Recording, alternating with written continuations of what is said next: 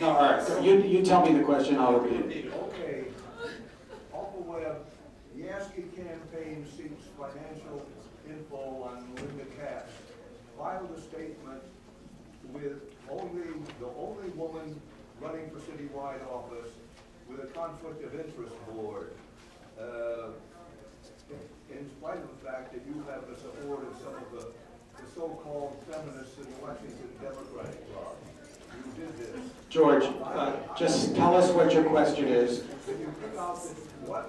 The only woman running to file a thing like this?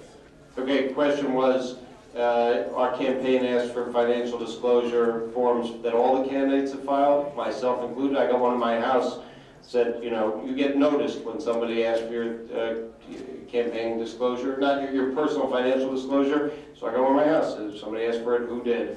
Uh, You know, a volunteer who's worked in our office, it was told, go out and do this. You know, that's what campaigns do. We, we campaign clean, I always have, I'm very, very proud of my record as a clean campaigner every time I've run for office, and I don't think you'll find anybody that disputes that. I campaign on ideas and policy and vision, and I've done that even in very competitive races, and I think